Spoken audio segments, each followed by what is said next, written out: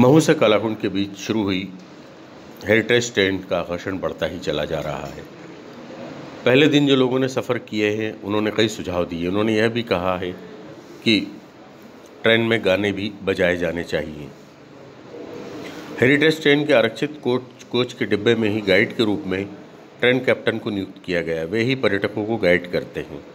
साथ ही गाड़ी चलने के दौरान लोगों को स्टेशन के बाहर खड़े रहकर अनाउंस कर बुलाने का काम भी किया जाता है। किशोर कुमार की, के गानों की मांग इसलिए भी की जा रही है कि किशोर कुमार को इस ट्रेन से जाना बेहद पसंद था। वे जब भी खंडवा जाते थे तो इसी ट्रेन में बैठते थे। कालाकोंड से पाताल पानी का नज़ारा देखने के लिए वे ट्रेन पर चढ़कर सफ़र करते थे। ट्रेन में गाइड किशोर कुमार से जुड़े किस्सों की जानकारी भी देंगे।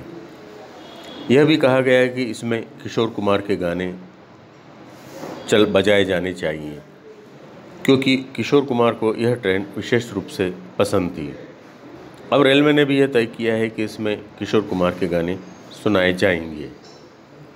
यह भी तय किया गया है कि ट्रेन में कुछ नई चीज़ें और जोड़ी जाएगी। एक गाइड भी रखा जाएगा जो ट्रेन में मौजूद रहेगा।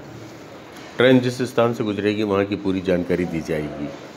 इसमें वह पाताल पानी स्टेशन का महत्व, टंटिया भील की जानकारी पाताल पानी झरना आसपास की बातें, सुरंगों का समय और उनकी बनावट का तरीका बताएगा। इसके अलावा हाल ही में हुई फ़िल्म पैडमैन की शूटिंग के दृश्य कहाँ कहाँ फिल्माए गए हैं, इसकी भी पूरी जानकारी दी जाएगी। तो कुल मिलाकर अब आपका सफ़र हेरिटेज टेन में दिलचस्प बनाने की पूरी तैयारी कर ली गई।